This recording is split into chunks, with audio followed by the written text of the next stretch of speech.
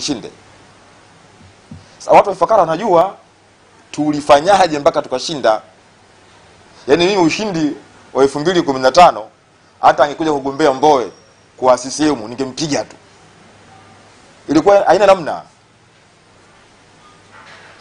Kwa hiyo ni uongo na sijui wana wana nia gani hivi. Kwa mfano mimi nianze kusema eti eh, niliiba kura ndo nikashinda, Yaani what do I gain? Yani mimi napata faida gani kwenye kwenye kwenye lile andiko? Ninapata nini pale? Yani inaniongezea nini kwenye siasa na kwenye maisha yangu tu ya, ya kawaida, mpaka mimi nianze kuandika vitu kama hivyo? Lakini mtu anakaa anaandika, yani mtu anapoteza masaa matatu kuframe uongo akadhani kwamba hii ita- itawasaidia. Kifo kiko pale pale tu mwaka huu, na mtasubiri tu, wala hiyo msipate shida. Unawadhalisha viongozi wa chama, watu ambao wametumikia Chama cha Mapinduzi kwa muda mrefu, kama kina mzee Kambangwa, watu wana heshima zao pale Ifakara, pale kirombero Unaanza kusema kwamba wao ndio walichukua hela wakanipa mimi nikaenda kuonga. Hebu tuache wazee ambao chama hiki wametumikia. Niombe sana. Tuna namna nyingi sana za mtu akiamua kunichafua anaweza kaamua nyingi zipo zipo zipo. Lakini basi usitunge uongo ambao dakika moja tu unaisha. Hebu basi tumia akili kidogo. Eh? Kwa mimi niombe na nitumie nafasi hii kukanusha. Hilo andiko si la kwangu. Aliandika anajua ana malengo gani. Na watakuwa ni hawa jamaa zangu tu. Ah, hamna mtu mwingine. Ni hawa watu. kama kama kama kuna mwingine mwambie asiofu. Mi nipo. Tutakutana huko muda ukifika. Lakini niseme jambo lingine ambalo ninaomba nili, nilikanushe tena ni kwa heshima kabisa, kwa heshima kabisa, with all due respect, jambo la mheshimiwa Tundu Lissu. Na hata juzi jana kuna magazeti nafikiri la Tanzania Daima limetoa kwamba Lissu ame ameshughulikia ametusema, e, ameelezea sababu za kwa nini sisi tume, tumetoka mimi Silinde e, na wenzangu Mimi niseme Lissu namheshimu sana, ni kati ya watu nawaheshimu kama yeye, yani kama mtu namheshimu mno. He has been there for me muda mrefu sana, lakini ninadhani amesahau kwa sababu yuko mbali, labda yaliyomkuta kibadamu atoka amesahau. Na mi niseme katika historia ya chama changu kilichopita, kwa sababu hata kama sisehemu wakisema mi sifai kuwa wanachama wao, Chadema siwezi kurudi kwa hiyo mimi mimi Chadema story imeisha. Chama changu kilichopita, watu wa Ifakara wanajua, watu wa Kilombero wanajua. Mimi nimeanza kuwa na kesi sio leo, sio jana, tangu elfu mbili kumi na tatu mimi niko mahakamani Ifakara Kilombero, nashinda mahakamani. Mimi ninafanya uchaguzi, nipo mahakamani, natoka mahakamani na kwenda kufanya kampeni. Watu wa Ifakara wanajua mpaka watu wa sokoni wakaamua kunichangia faini. Wa- Watu Ifakara wanajua. Kwa sijaanza leo na, na kipindi chote hicho Chadema kilikataa kunipa wakili. Bure, kilikataa kabisa, na akikunipa wakili bure, wakili Tarimo. Sasa hivi ni wakili wa kanda ya kati, yuko pale Morogoro. Nilimlipa milioni tatu na nusu. Niliuza gari langu mimi nikiwa diwani. Ili nitetewe mahakamani kesi ya Ifakara, na kesi hizi ni baada ya wananchi wa Ifakara kuzuiliwa kuvua. Sisi kule kwetu kuna kuna visamaki vinaitwa njuju hivyo,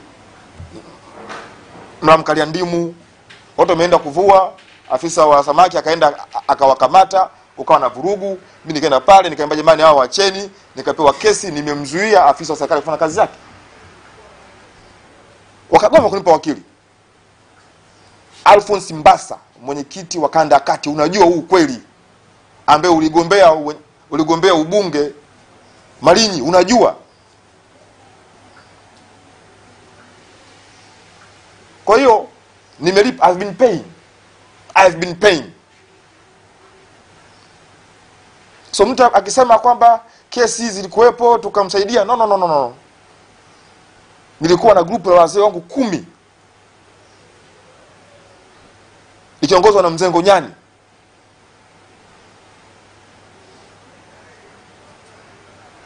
Wakanishauri, kijana, utafungwa kweli hapa, huza gari hili.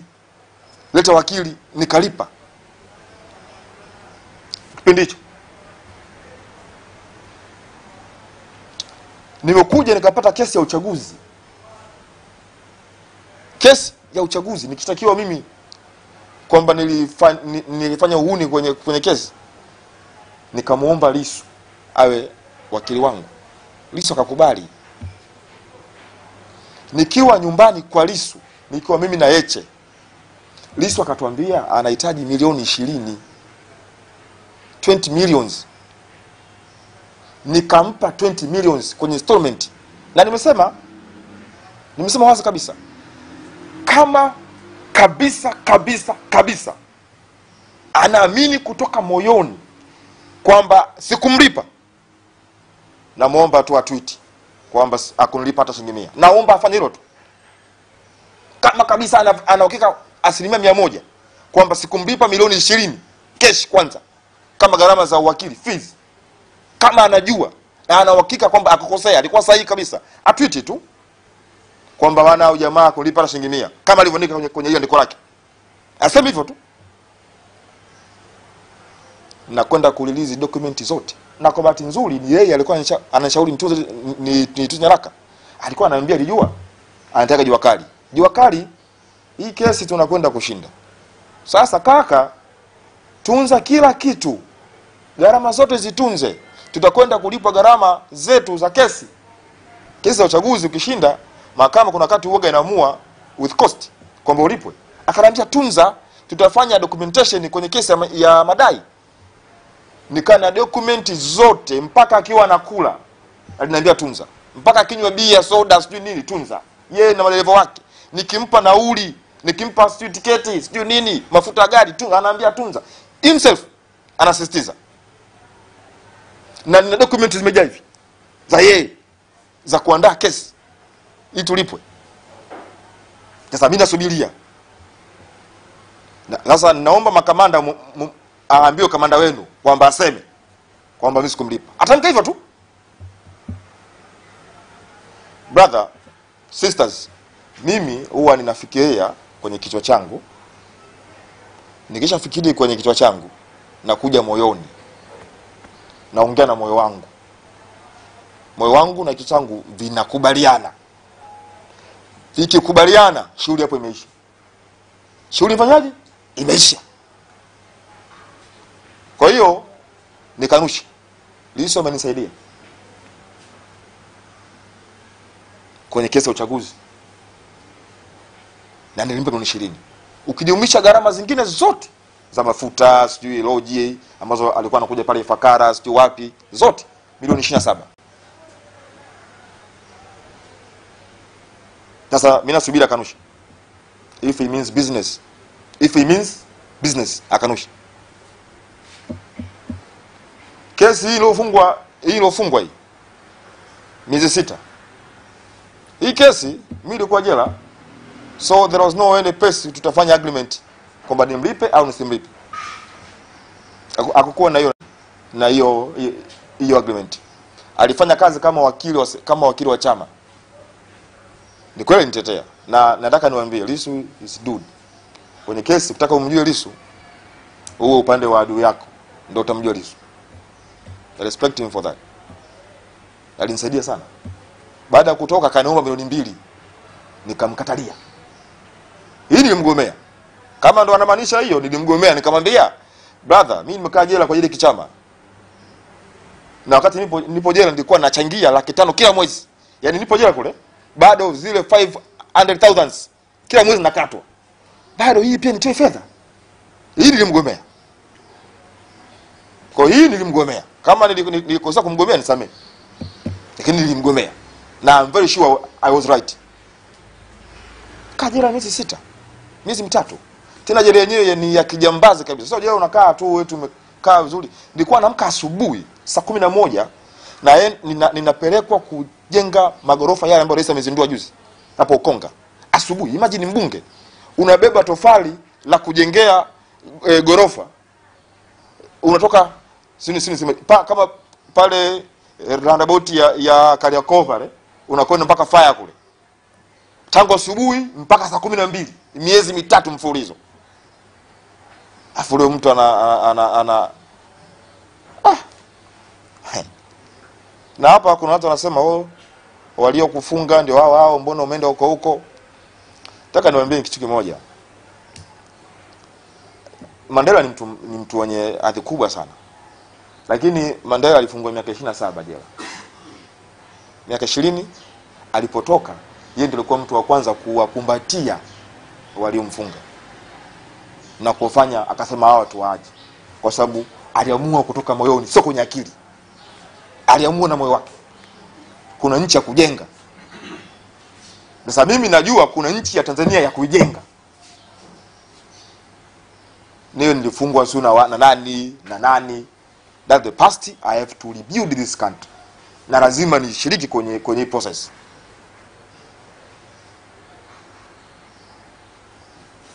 Kwa hiyo lisu bwana kama kweli ana, ana, ana, anaamini kwamba mimi nili sikumlipa aseme tu.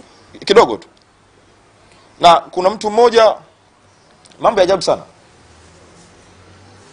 Ah, anaitwa mbugi ni katibu wa kanda ya kati akasema aliojiwa na kuna kuna vinandi vyake vinatembea vina, vinatembea tembea kwamba eti mimi nilipokuwa diwani nilitaka kuongwa milioni kumi na tano nika, eti wao ndio wakanizuia e, baadaye e, nikashinda. Lakini mi mimi niliposhinda e, kabla ya hapo nilikuwa naishi kwenye kota za kiwanda cha sukari. Yaani mimi hapo lijolikali kabla kuwa diwani nilikuwa naishi kwenye kota za kiwanda cha sukari watu wa Ifakara wanaona nyinyi ninyi sio hata watu gani yani? They know me from down. Wanajua. Mimi sijawahi kukaa hicho kiwanda cha sukari. Kwanza hata sijui ni kipi. Na Ifakara pale hakuna kiwanda cha sukari. Watu wa Ifakara mniambie. Hapo pale Ifakara kiwanda gani kipo ambacho ni cha, ni cha sukari? Ambacho mimi lijulikali nilikuwa ndo nafanya kazi pale na nikapewa hiyo nyumba kuishi kwenye kwenye hicho kiwanda. Watu hawajui chochote ni propaganda za, za kidini kabisa. Nataka niwaambie mimi labda tu nimsaidie mbugi mimi nilikuwa ninafanya kazi st francis university college of earth and Air sciences kama library officer ambayo hiki ni chuo chuo mama cha st augustine. Nilikuwa ninaongoza pale ma, ile ni maktaba ya chuo. Mimi nilikuwa head pale na nimefanya kazi pale kwa miaka mitatu. Kwa hiyo kwa sababu yeye hajui na kwa sababu amepaniki yani jamaa amepaniki kwa hiyo wana, wana yani wanasema lolote tu. Watu wanaona nyewe ajabu. Na nataka niwaambie watatunga mengi sana kipindi hiki. Mengi mno. Lakini najua kwa sababu hawana ukweli na, na sio kweli. Msishangae kusikia vitu vingine hata ambavyo ni vya uongo kwa watu wa Ifakara, Kilombero na Tanzania mwapuuze, sio kweli hmm? Kuna watu wengine wanasema of course this hii ni positive kwa namna moja au nyingine. Kuna watu wengine wanadhani kwamba mimi kwa sababu mimi pia ni diwani wa kata Ifakara, wanadhani pia mimi nilikuwa mwenyekiti wa halmashauri ya pale Ifakara. Hapana, mimi mpaka dakika hii ni diwani wa kata yangu ya Ifakara, kama diwani wa, wa kuchaguliwa kabisa, na ni mbunge wa jimbo la Kilombero, lakini mimi sijawahi kuwa mwenyekiti wa halmashauri ya Ifakara wala Kilombero. Aliyekuwa mwenyekiti pale ali- alijiuzuru. Sasa hivi pale halmashauri yetu inaongozwa na mtu anaitwa Gulaki Msohoya ambaye ni diwani wa Kibaoni. Na ambaye hata kabla niko Chadema na mpaka sasa hivi nimefanya kazi nyingi sana, na ninaamini kwamba anaweza kutusaidia pale Kibaoni. Tuna fedha nyingi tulipeka kwenye, kwenye, kwenye, kwenye, kwenye kata yake, amesimamia. Ninaamini mambo yanaenda. Kwa hiyo mimi sijawahi kuwa mwenyekiti wa halmashauri ya, ya Ifakara wala Kilombero. Kwa hiyo hiyo hayo ilikuwa ni mambo ya ya kukanusha ambayo nilikuwa natamani nianze nayo kwanza, kwa sababu hayo yalikuja baada ya kuzungumza, lakini baada ya mimi kuzungumza, dada yangu, rafiki yangu, e, ndugu yangu e, Bulaya aliongea na, na, na waandishi wa habari. Na kwenye kuongea kwake, katika moja ya vitu alivyozungumza ki- vikubwa ni kuniomba niweke akiba ya maneno, yaani nisiongee sana, nisiongee sana, nitunze akiba ya maneno, kwa sababu kuna kesho. Aliongea kitu hiki na mimi nimeelewa kwamba Bulaya unataka nitunze akiba ya maneno nisiongee. Sasa na- yani anaponiambia nitunze maneno niweke akiba ya maneno anaogopa nini mimi kusema? Yani nini ambacho anajua, labda kuna mengine nayajua mpaka ananiambia ni atunze, kwamba haya mimi nisiyaseme. Anaogopa nini Bulaya? Kwa sababu una- una- unaponiambia kwamba mimi nisiseme eh, bwana uje na, na hii sio yeye tu. Makamanda wengi wanakuja inbox na wapi? Bwana wewe usi- usi- usiseme sana ushaamua kutoka. Eh, sasa kusema sema sana na si vizuri. Unajipunguzia heshima na nini? Hata huko unapoenda utakuwa uaminiki. Eh yani wananionea huruma huko unapoenda utakuwa saminiki wana huruma na maisha yangu yajayo leo. Kwa hiyo nisiseme seme sana. Kuna msemo mmoja wanasema ni wa Kiingereza nafikiri hii ni moja ya ya principle kwenye chemistry huko au, physics mi sio mtaalamu huko. Uh, inasema for every action for every action there is an equal and the opposite reaction. For every action there is an equal and opposite reaction. Ni sayansi hiyo pure maana yake ni kwamba kwa tafsiri tu ya kawaida nguvu unayotumia kupiga ndiyo nguvu hiyo hiyo itakayotumia kupiga na wewe. Yaani nguvu inayotumika ndio nguvu hiyo hiyo itakuja kwenye opposite. Sasa ninyi mmenipiga baada ya mimi kuingia bungeni kutetea jimbo langu la Kilombero. Mmepiga wiki tatu mimi nipo kimya. Nyie kidogo tu ah, tulio, sana We kiongozi bwana kuna kesho. Tunza. E, naambia for every action there is an equal and opposite reaction. Kwa naomba mtulie tu. Na mimi nimejiunga nime- chama cha mapinduzi na nimesema nitafanya kazi yoyote ya chama cha mapinduzi. Chama cha mapinduzi kina kazi nyingi. Kuna katibu wa kata kuna mwenyekiti wa tawi kuna kuna katibu mwenezi wa jimbo kuna katibu mwenezi sio wilaya. Hizo na kazi za chama ambazo nimesema nitafanya kazi yeyote. So watu wakaanza maneno oh kasema atafagia sijui nini sijui choo cha cha- sehemu nataka niwaambieni mimi ni mwanadamu hata hao mnaona ni wajinga wanaofagia vyoo vya, vya, chama cha sesemu manake pia wanaofagia vyoo vyenu amwathamini kwa hawana utu mbele za watu. Kwa hiyo mnaona kwamba zao ni ya kipuzi. Mimi hata kupiga deki kusafisha vyoo mabanda ya kuku e, kulima vijarugwe ntalima kwa sababu nimeingia huku kwa moyo wangu. Kama nilivyokuwa ninafanya kazi za chadema miaka elfu mbili huko wala sikujua kama kutakuwa na udiwani wala ubunge. Nilifanya kazi zote za hiki chama kuchimba kuwekea viongozi viti sijui kufanya kazi za kuweka uh, kupanga meza kufunga maturubai kwenye kwenye mikutano. And then all of them stuff. Nimefanya. Wala sikwaza ubunge. Mimi sikuja chadema wakati wa kura za maoni. Sikuja chadema wakati wa kura za maoni. Kabla ya hapo nilikuwa nafanya kazi za chama zingine. Sasa kuna jambo gani mimi nikifanya kazi za sehemu nyingine? Shida iko wapi? Eh makamanda mmepaniki hii na pia ni tatizo. Msipaniki sana kwa hiyo niwaombe sana. Hakuna wakunizia kusema hapa. Na wanasema oh, kama nyie mlichanga nini mbona CAG eh, alisema kwamba mna tuna hati safi. Sasa nitawakumbusha kitu na nitasema leo msingi wa kitu nini. Tarehe kuna ripoti ilitoka hapa ya CAG ikizungumza kwamba Chadema kimemkopesha sehemu ya ruzuku mbunge wa Chadema akanunue gari.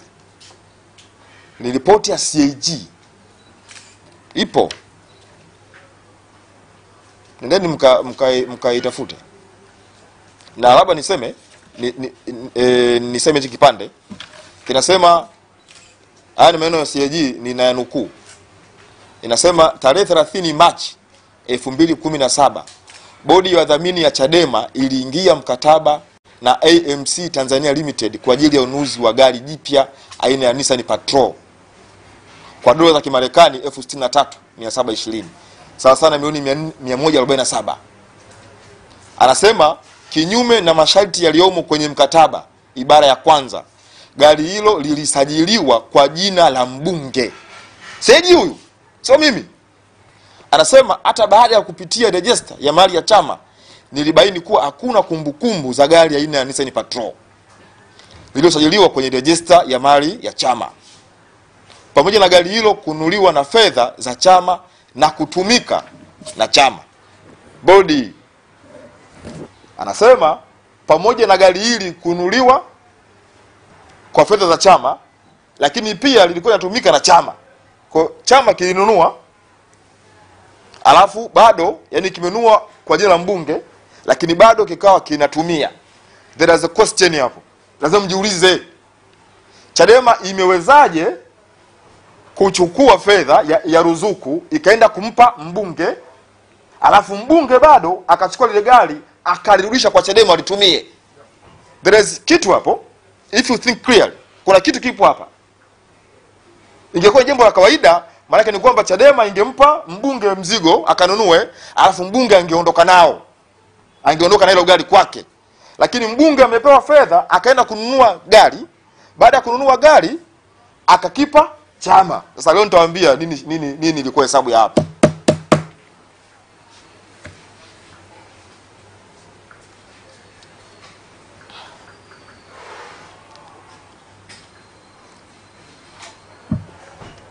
Hesabu ya hapa iliyopigwa na sio hata hata hata mimi nilifatwa Mbowe na watu wengine walitufuata, wakasema chama kinahitaji kununua magari lakini hakina fedha. Tunaomba wabunge tutumie exemption zenu za kibunge. Exemption, wabunge tunapoagiza magari tunapewa exemption na serikali kwa ajili ya matumizi ya wabunge. Mbunge unapewa fedha kidogo na zingine una, unakopa, lakini pia unapewa exemption. Kwa hiyo chama kikatafuta wabunge ambao hatujatumia exemption bado, kikatuomba kitumie exemption zetu kununua magari ya chama, na moja wapo ndo hili hapa. Huu ni wizi, ni kukwepa kodi, na hesabu yake hapa ni ukwepaji wa kodi. Kwa hiyo mbunge alipewa fedha akijifanya ananunua gari la kwake ili asilipie kodi, lakini ile gari akaenda kuwapa Chadema. Sasa CAG hawezi kujua vitu hivi katika kila kawaida. Hivi inaingiliaje akilini kwamba eti mbunge apewe fedha na chama alafu aende kununua gari alafu baadaye akija kipa chama gari hilo hilo ni kodi. Hesabu ya chama ilikuwa ni kukwepa kodi na wamefanikiwa kukwepa kodi. Niombe vyombo vinavyohusika waende pale. Huu ndio ukweli leo nimesema. Hii ndio hesabu ilikuwepo. Sasa kama naambiwa nisemeseme sana ndo haya sasa.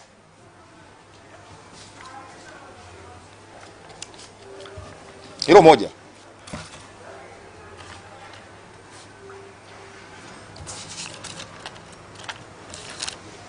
Hilo hilo ni moja. Kuna watu hawajui na wanapotosha sakata la wabunge kukatwa ama kuchangia chama. Hiyo sio hoja. Sisi hatukatai watu wala hatupingi kwamba tunapaswa kuchangia chama, hatupingi kabisa. Kweli ipo ipo kwenye katiba. Hoja hii uki, ukisema wanakwambia angala katiba, angala katiba, angala katiba. Eh, katiba imeandika ni sawa, so what?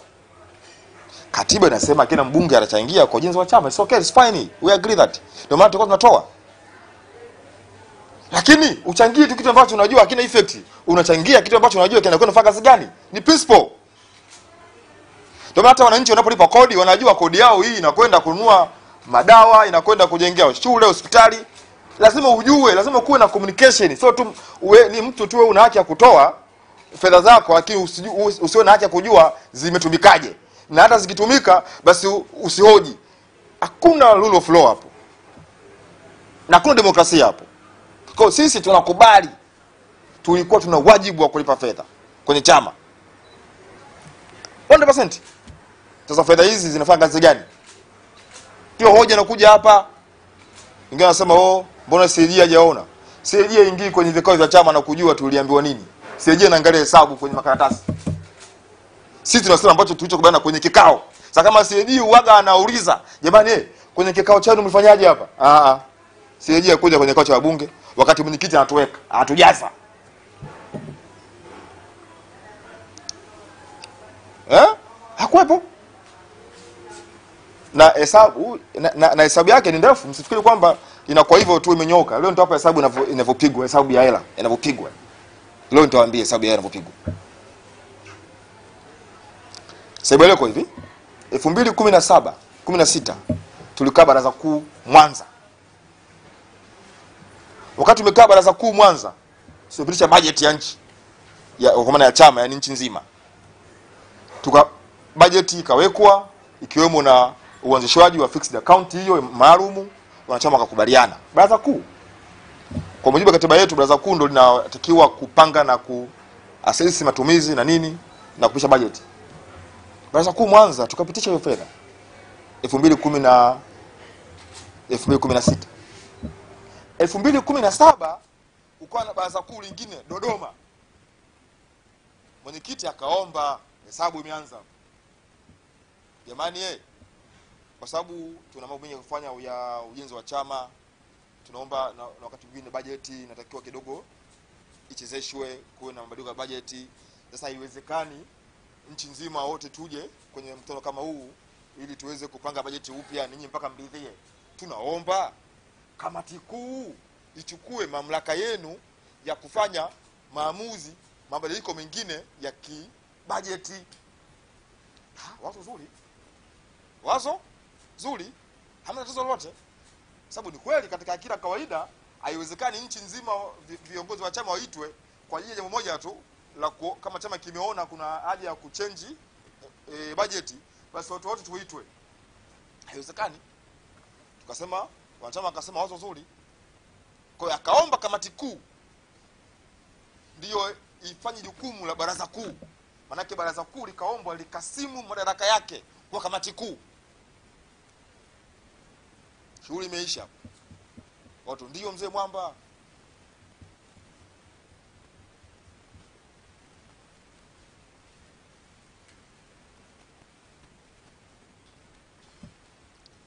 pale azimio likapita, akaja kamati kuu.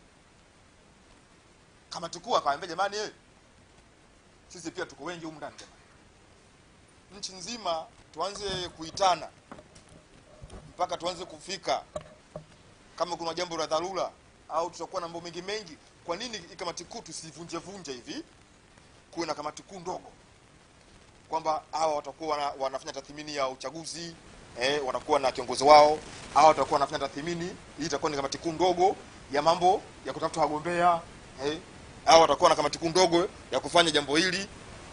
Watu wa Mwamba, jambo jema hili akaunda kamati kuu ndogo ya kamati kuu ya mambo ya fedha. Huko ndo akapeleka wazo jamani ye tutumie mzigo.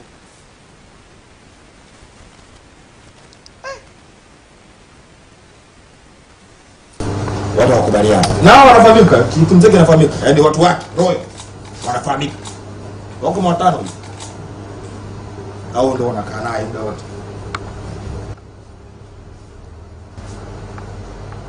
pigo la kwanza la hizi fedha zilitoka milioni mia nne kwa mara moja baada ya Lissu kushambuliwa wakachomoa mia nne wanakwenda kumtibu Lissu fedha tumezipanga za uchaguzi mkuu, akachomoa mia nne watu hao Nairobi, na hapo anasema "Hai, kuri yukali alikuwa hataki Lissu kwa atibiwe, kwa angekufa. Acheni mambo yenu hayo. Yaani watu wanatumia maumivu yetu kupiga fedha. Wewe unaumia, mwenzako anapiga mzigo.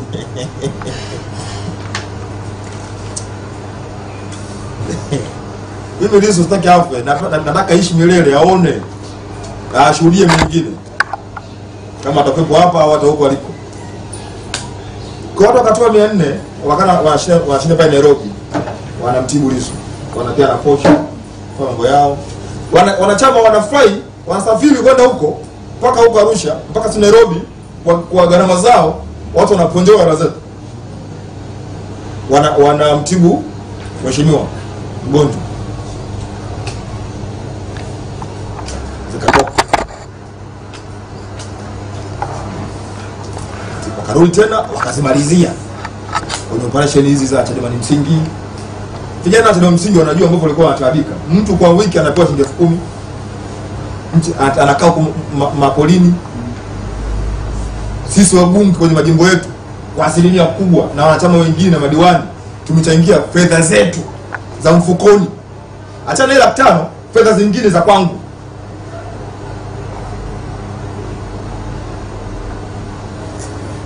alafu wao wanasema tumefanya charibani msingi, tumenua magari. Jamani, unajua kuna vitu, uchaguzi ni tukio mama, tukio kuu katika chama cha siasa, ni tukio mama na tukio kuu, alafu kuna matukio mengine ya ujenzi wa chama, yaani kununua magari nini nini, ni- ujenzi yaani kile ambacho hata kama hata kama hata kama usi uchaguzi huko 2030 chama kitanua gari tu. Lakini kinapokwenda kwenye uchaguzi mkuu lazima kiwe na program maalum ya uchaguzi mkuu.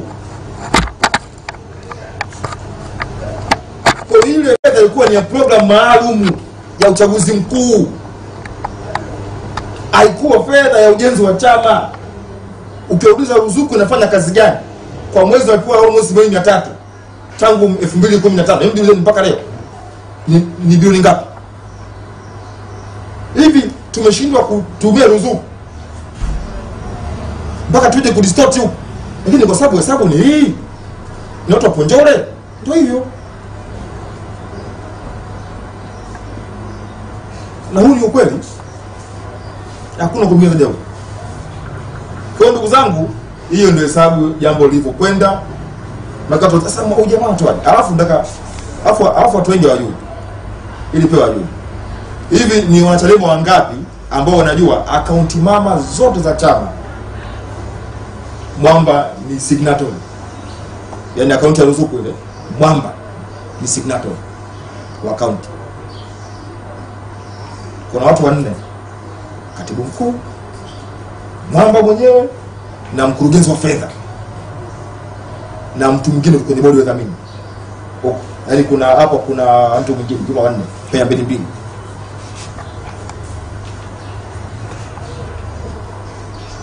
Yaani ipo hivi Mwamba ni mwenyekiti anakaa pale juu. Mwamba huyu huyu ndio anayeteua katibu mkuu wake ambaye pia ni signatory. Alafu Mwamba huyu kwa kukaa na katibu mkuu wanashauriana kuteua mkurugenzi wa fedha ambaye pia ni signatory. Hesabu ya kazi hiyo. Alafu Mwamba naye ni signatory. Na hesabu iko hivi. Mwenyekiti Mwamba pamoja na, na mkurugenzi wa fedha ndio pea yao, the two wanaweza kusaini wakachukua mzigo. Hivi nataka mimi ni mimi mimi ni diwani pale, tuna kuna tuna tuna kata pale ina akaunti. Utaratibu wa uruhusu kabisa diwani, mtu mwenye influence kuwa one of the signatory haupo, utaratibu haupo. Hakuna waziri ambaye ni signatory wa akaunti za wizara, hakuna. Hata hakuna kaunti hata moja katika nchi hii ambayo rais JPM na marais waliopita ni masignatory kwenye hizo akaunti, hakuna. Lakini kwetu huku Mwamba ni signatory, ndio watu wanasema SACCOS. kwa hesabu zote ambazo zinapigwa zile za hela jamaa ndo anasaini na wenzake mzigo umetoka alafu sisi yani mimi lijulikani ambaye nilikuwa jela ninachangia fedha kwenye chama hiki yani si, si nimefungwa miezi sita? Nimekaa hiyo si miezi mitatu. Kila mwezi nikiwa jela nilikuwa nachangia. Alafu what's enough? What's enough? Watu watu watu wa mama hawakuwahi kutoa hata shilingi mia mpaka leo. Ni wameza msigo na timu yake. Na kama wanabisha tamwomba spika alilizi zile statement za wabunge ambavyo tunachangia tuna kama spika ataona inafaa. Kama spika ataona inafaa. Na kanuni zinaruhusu. Mi niko jela nachangia chama hiki. Nimefungwa nachangia. Lakini msigo na watu wake hata mia watoi mpaka leo hawajatoa hata mia. Alafu unataka mi nikae huku. Yaani mi nikae huku. Hebu muwe na wewe huruma jamani o tumekutoa mbali. Aukuwa au hivi. Hivi niulize. Chama ni nini? Chama ni watu. Yaani wakati chadema kinanitoa mbali na yaani wakati chadema kina mimi hapa kinanitoa mbali. Na chenye kilikuwa wapi? Maanake mimi nilikuwa mbali na chadema pia ilikuwa mbali. Kwa hiyo tume tumepelekana wote. Ila kama chadema akikuwa na watu kikatoka kika, kika nao mbali eh, ni sawa ila tumetoka nacho mbali. Kwa hiyo ni maneno tu kwamba chama chama kimekutoa mbali ulikuwa umepauka chama chenyewe bila watu kina kinatoka kina, kinatoka wapi? Ni maneno tu ya kuudhiana na maneno tu ni ya kawaida na watu ambao uelewa wao ni mdogo. Kwa hiyo unawasamehe. Sasa ukisema haya ndio Esther anakwambia eh bwana usiseme sana. Kuna kesho. Weka kipa maneno kwa sababu kuna vitu kama hivi. Watu hawajui. For every action there is an equal and opposite reaction. Na sasa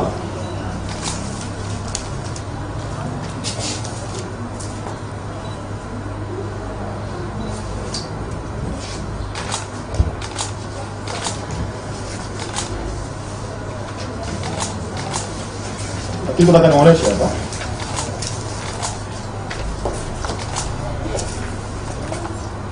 Katika ripoti taarifa ya baraza kuu kuhusu utekelezaji wa programu mbalimbali za chama 2014 mpaka 2019 mkutano mkuu wa, Dar es Salaam huu wa juzi hapa Zone City.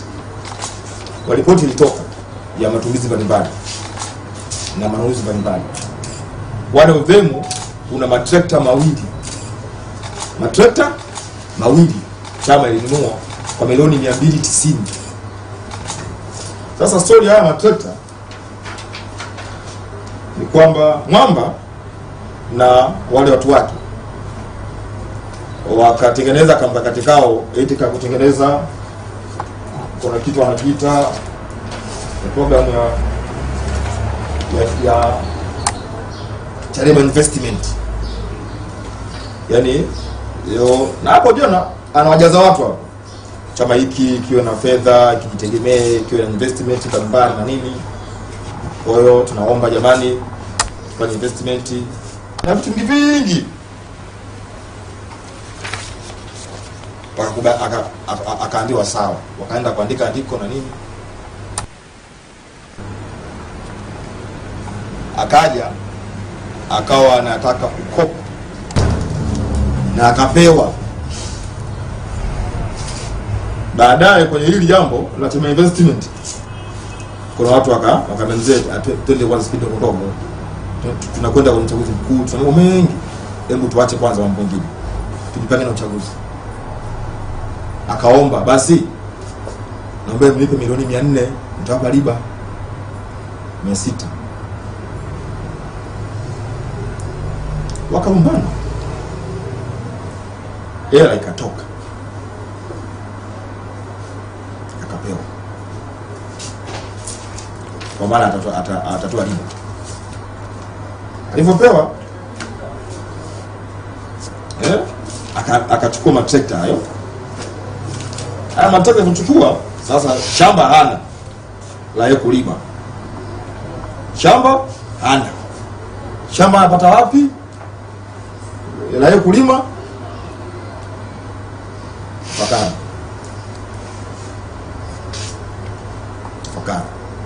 Alipokuja Ifakara akamtafuta bwana mmoja anaitwa Juma Mgosi. Juma Mgosi. Juma Mgosi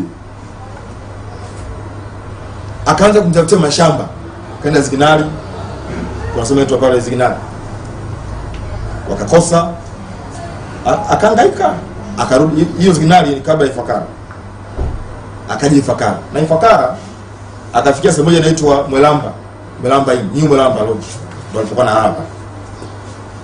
Msisahau mimi naishi Ifakara. Pale Ifakara nikatijua simu na vijana wa pale kwa sababu inaitwa Mwembe Chadema. Kuna mtu anaitwa James Barata ni, ni, ni kaka yangu, na hapo ndipo tawi langu mama la Chadema pembeni kuna hiyo road. Bwana mwamba yuko hapa. Mwamba nikamtafuta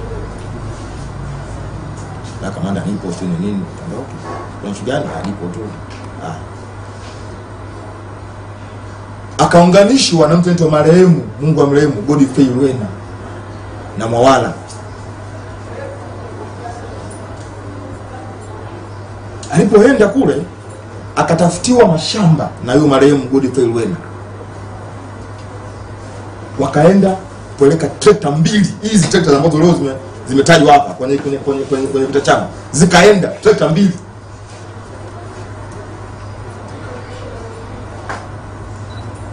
Wakaenda kulima kwenye eneo ambalo si kulima. Kwenye hifadhi ya bonde ya mto Kilombero. Alipofika huko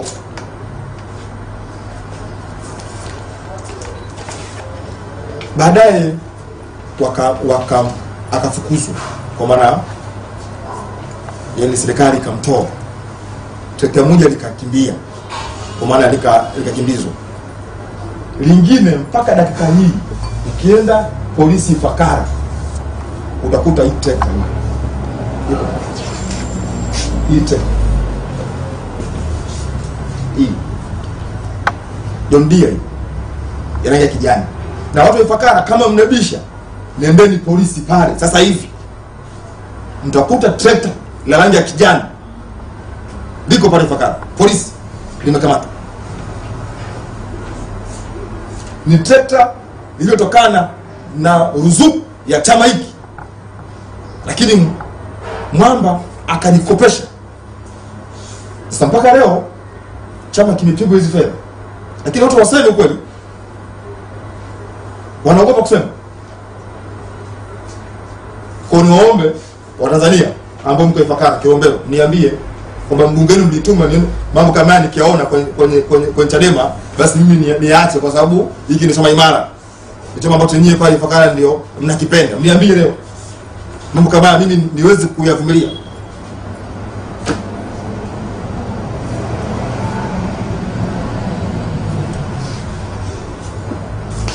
na kama wanasema kweli kwamba hili tekta lilikuja Pakara kufanya ya chama, shamba la chama, naomba wanijibu maswali yangu. Hati ya kumiliki hilo shamba iliyoko na Mwawala iko wapi?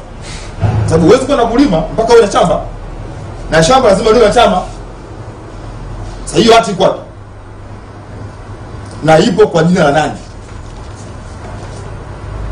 Na kama chama kilikodi kwa mtu huyo mtu ni nani?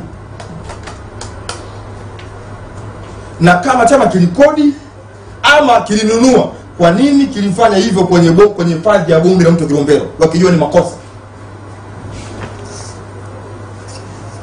Je chama kimewahi kuonekana mahali popote kikilalamika kuhujumiwa kwenye mradi kule Ifakara yaani cha Chadema kimewahi kuonekana? Jamani eh, sisi tuna mradi wetu lakini tumehujumiwa. Au mwenyewe mambo mwenyewe. Amewahi kasema sehemu akalalamika. Jamani eh, mimi nina mradi wangu kule nimehujumiwa. Lini mmesikia kitu hiki? Na na nataka niwaambieni mnaweza kujifanya kubishabisha. Watu wa Ifakara walimuona mwamba. Mnachokisema wanakijua. Na kama wanabisha waende mwembe Chadema. Watafute kina- kina James Mbarata. Wamtafute Mgosi kina Kisingo kina Sisto, wote hawa ni watu waifakara wanajua kweli na mwamba walimuona. Mnaweza mkabishabisha huku lakini kule hamtuambii kitu. Sababu tulimwona tulishuhudia. Hivi wanachama wanajua kuhusu ruzuku hii kupotea? Nani anajua? No knows. Kamati kuu ya kamati ndogo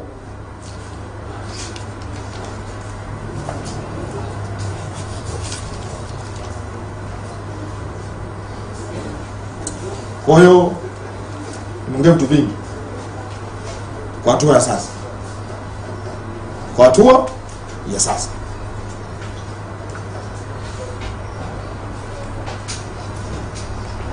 Namalizia kidogo. Kwenye ishu ya korona kwenye ishu sababu mtifuano huu kubwa umetokana na bungeni na hoja ya korona nataka niseme hebu Tanzania tuulizane. Sisi tulisema lazima twende bungeni kwa sababu kuna hoja ya kususia bunge. Hoja msingi hakuna. Na kwa sababu pia hoja haikuwa shirikishi. Tukaambiwa lazima hapana. Lazima twende. Mimi nikaenda. Msimamo wa chama changu ni kwamba tuwe na lockdown ili kupambana na corona. Mpaka niambia watu watu wakiombea. Na Tanzania. Hebu tujiulize. Hivi ni kweli kwa mazingira yetu Tanzania? Tukiwa soba kabisa. Kwa mfano tu pale Ifakara tuweke lockdown. Kwamba watu wafanya biashara kutoka Dar es Salaam wasiende Ifakara kununua mchele, kununua mpunga. Na watu Ifakara wanafanya kazi ya kilimo kwa sema kubwa, ni biashara, interaction kati ya mikoa hii yote kwenye Ifakara ndio wao wanaishi, wanalima ili ili wauze. Kama hakuna wauzaji wanaokuja Ifakara, Ifakara imefungwa, Hiyo utaishije? Pale sokoni Ifakara, soko kula la- Ifakara, watu wote wale tuambie jamani, haya kuanzia leo biashara yetufunge tufunge kwa sababu corona, Hiyo utaishije? Yaani watu wakilombea mtaka kuniambia mimi mbunge wenu ndo wazo langu ile kwamba au ningekuja kuwauliza eti Kilombero tufanye lockdown au tusifanye, mngenipiga mawe. Na huu ni ukweli. Ili pia tulikataa. Hii si approach nzuri kwa uchumi wetu sisi. Hii ni tatizo. Mimi watu wangu kule unawezaje kuambia tufanye lockdown? Yaani mimi naanzaje? Watu wanataka waende shambani ku- ku- kung'olea mpunga waende kuvuna, unaambia kaeni ndani, mtoke nje, kuna korona. Kweli? Yaani leo mimi nihukumiwe kwa sababu hii? Halafu hem, tuulize hivi, maana mtu wanampiga Mheshimiwa Rais, oh, pendi watu si nini ndio wanasema hivi. Kweli Rais Magufuli afanye maamuzi ambayo yataua ta, yani yataua Tanzania kama kule Itali kama sijui China uani huko kabisa. Yaani rais wa nchi aliye hapa kwa katiba ya nchi ulinde wananchi wake, eti afanye maamuzi ambayo watu wanakufa mia saba mia nane kwa siku mia tisa elfu moja wafe, rais wa nchi. Yaani sasa hivi rais Magufuli hiyo ina inamsaidieje? Hebu mniambie. yaani anapata faida gani yeye kama rais wa nchi? Yani hiyo anasikia raha gani kwa watu wanakufa hivyo kwenye kwa huo wingi, yaani mpaka aamue kitu ambacho system nzima ya nchi, usalama, sijui majeshi, sijui polisi, wataalamu wote wote eh, wawe tu wapo tu. Rais Magufuli anapata faida gani kwenye kwenye kwenye hivyo vitu? Alafu sasa jambo la ajabu sana, wakati wanasema si kuwe na lockdown, kuwe na nini, nataka mniambie ni ofisi gani ya Chadema iliyofungwa kwa sababu ya lockdown? Yaani pale ukienda makao makuu ukuti mtu, makao makuu pale ukuti mtu, yaani makao makuu imefungwa, chama akifanya kazi yote. Yaani ukienda kwenye kata za mfano hapa si hapa Sinza si wapi, ofisi ya taifa imefungwa. Ofisi ya mkoa sijui wa- Morogoro Salema imefungwa. Ofisi ya kanda kati imefungwa. Ofisi ya magharibi imefungwa. Ofisi ya Arusha imefungwa. Kwa sababu ya corona wapi mniona kitu hiki? Yani kama kweli wanataka tufanye kwa wewe, mbona ufunge ofisi? Za iza- iza chama.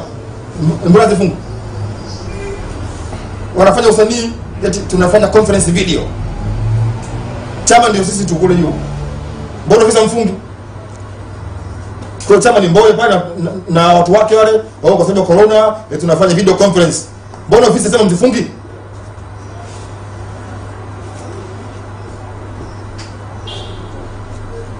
Alafu wana biashara zao. Sijaona hata mmoja ametoka jamani eh, mimi kwenye corona hii nimefunga maduka yangu. Arusha pale sijaona mimi. Mtu e, pale mheshimiwa akasema jamani tuana corona hii na msongamano wa watu. Naomba mimi haya maduka niyafunge. Sijaona mpaka dakika hii. Sijaona. Watu wana mahoteli mjini hapo, sijaona akafunga hoteli kwa sababu corona. Sijaona. Kwa sisi maskini tukae ndani. Ila wao ofisi zao hawafungi. Sasa kama hawafungi ofisi zao nani anakwenda kama nani anakwenda kuhudumiwa kama, kama sio sisi?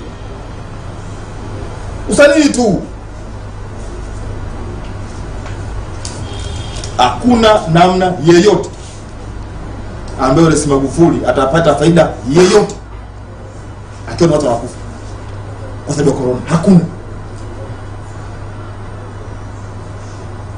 Na kwa sababu hiyo hawezi kufanya maamuzi anayoona kabisa watu wanakwenda kufa. Hawezi. Tuache propaganda za kijinga hivi. Na hii ni tabia. Ni tabia hivi mjumbe wa kamati kuu mheshimiwa msigwa anaomba radhi leo kwamba jamani eh, mzee kinana nisamehe. Nili- nilidanganya watu kwamba yeye ni mwizi. Na watu wote wanamwamini yeye mtu yani mtu ana- tena kaongea bungeni. Sehemu ambayo unaapa kuongea ukweli. Uni unaapa kuongea ukweli. Kaongea mzee kinana mwizi.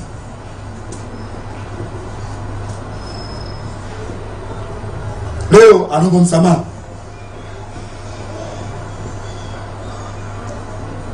tena anasema ametumia neno neno gumu sana. Alifanya vile kwa sababu za kisiasa na kizandiki. Alifanya alisema uongo kwa sababu za kisiasa na kizandiki. Kwa hiyo kwenye kusema kwake huwa anaongea kwa sababu za kisiasa na kizandiki. Siasa hiyo ili nani msaidie yeye na chama chake.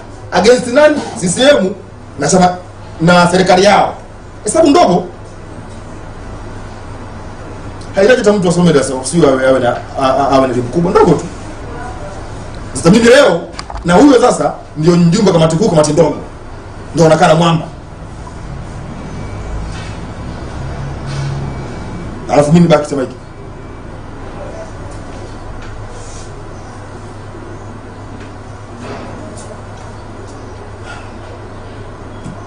Niwaombe sana Tanzania niwaombe sana Watanzania niwaombe sana Watanzania nchi nzima. Tuweni makini sana na hawa watu wa tuweni makini sana. Tuweni makini sana. Nchi ndio iende mbele. Nchi ndio isonge. Tutakaoifanya nchi isonge ni sisi. Mzee Slaa kaondoka chama hiki kwa nguvu makubwa sana hesabu ndogo tu. Yaani mwamba kakaa pale. Kaona mzee Lowassa hii watu pole sana. Kimwangalia silaha silaha kwa kama vile sio mzee. Ah na kuna na, na nani? Na Lowassa. Kwa sababu gani? Anajua kuna mikula mingi itapigwa pale kwa kwa Lowassa. Kula ziko nyingi za za, za, za Lowassa ruzuku tajaa ruzuku kijaa, yeye ndio signatory hesabu imeisha hesabu mwisho. Kwa hiyo mzee Slaa akaambia wewe nenda bwana wewe. Yeah? sisi tuna hesabu zetu hapa. Mzee wangu fanya kazi huko ulipo. Wewe ndio ulitulea sisi. Sisi ndio ulitulea na unanijua. Mzee sara anajua. Kuna mtu Julikani anajua na Chadema wasisahau. Chadema wasifanyaje? Wasisahau kabisa. Mimi nilishinda kura ya maoni, nilishinda kura ya maoni, kamati kuu ikanikata jina langu, na jina lilikatwa, naambiwa huyu bwana ana misimamo mikali, hatutamweza. Ndo msingi ulikuwa ni huo. Yaani mimi nilishinda kura maoni, niliwashinda wagombea wote wa chama cha Chadema pale, walikuwa saba, kura zao hata nusu yangu haifiki. Wazee wa fitna wakakaa wakasema, bwana jina huyu mzee atoa mudu huyu huyu mkatili, jina likakata. Baadaye wananchi wa Ifakara wanakumbuka walivyolazimisha mimi hapa kuwa mgombea, wanakumbuka sau bila wao kulazimisha mimi kuwa mgombea nisingekuwa mbunge leo. Mimi leo ukiniambia nipime kati ya chama hiki na na watu wa Kilombero, kama kuna maslahi ya chama changu na watu wa Kilombero, naangalia maslahi ya watu wa Kilombero kwanza, kwa sababu bila wao kugoma mimi nisingekuwa mbunge. Hesabu ndogo tu mbona hiyo? Kama wanabisha watu wa Ifakara, mnabisha kwamba ninyi hamkugoma chama cha cha Chadema, mimi mimi mimi jina kunikata, mseme kama mliweza kukigomea chama hiki tukigomee tena.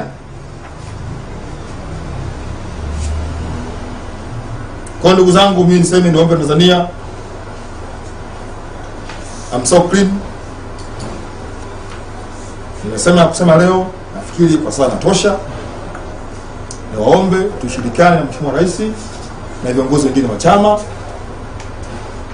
tuweze kutengeneza nchi yetu. Eh, ingawa pia tunasema oh, kwa nini mnasema sema tu Mbowe peke yake? Mbona kwenye serikali anasema sana rais? Yaani mbona msemi mtu mwingine kwa serikali? Mbona rais tu? Mbona Kikwete ndio alikuwa anasema? Yaani wewe unakaa pale miaka 20 unaweka mifumo yote hii ya, ya kinyonyaji au unataka tusikuseme? Hapana. Mimi naomba Tanzania tushirikiane. Mungu awabariki. ila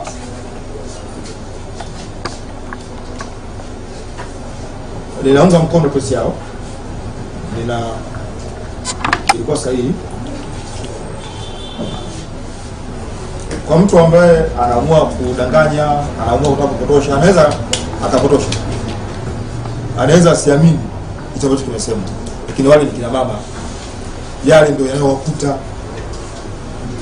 Na huo ndio uhalisia, ndio uhalisia. Sasa kwenye hii lengo kuna mengi hapa kusema, na mifano ipo e, na mifano ipo. Kwani nani ambaye hajui kwamba mheshimiwa ana ana mke pale mle ndani? Nani ambaye hajui? Yaani mheshimiwa ana nani? Ana mke mbunge ndani. Nani ambaye hajui? Sasa huo huo pia si ni mfano kabisa. Inawezekana kawa ni kwa ajili yake, lakini huwezi jua. Kwa hiyo mambo kina mama wamesema, mimi na mimi najua yapo. Eh. Swali lingine? Nataka kuongezea kidogo hapo. Kwa sababu kuna watu wamechelewa. Kwa naomba labda ungewapa tena, ungetamka tena kwamba umehamia Chama cha Mapinduzi. Sija- Sijahamia Chama cha Mapinduzi, nimeomba kuhamia Chama cha Mapinduzi. Kwa hiyo Chama cha Mapinduzi kiona mimi hata kama ikiona sifai, Chadema sirudi. Yaani nasema kwa sababu na wewe huko huko huko na wewe upaje sababu unamsema mekali. Na ndio sawa zee. Nenda kulipa tangu mpunga ipaka. Mbona taishi hizo? Swali lingine? Naona maswali hakuna. Mungu awabariki jamani.